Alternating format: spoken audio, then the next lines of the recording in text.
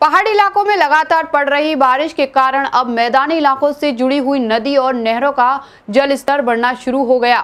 इसी के चलते जी नाइन न्यूज़ की टीम पहुँची यमुना के घाटों पर, जहाँ यमुना के जलस्तर की स्थिति का जायजा लिया।